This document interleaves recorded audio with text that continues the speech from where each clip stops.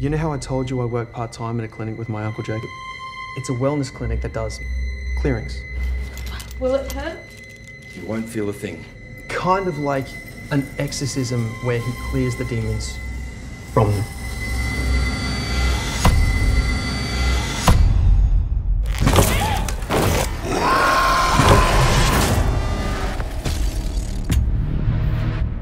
That's four in one month. We've never had four in a month before.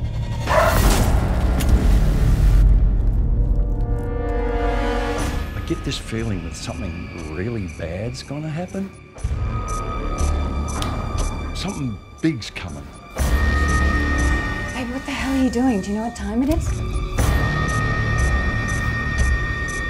What the hell, babe? In all the clearings I've ever done, I've never dealt with anything like this before. Well, I'm gonna have to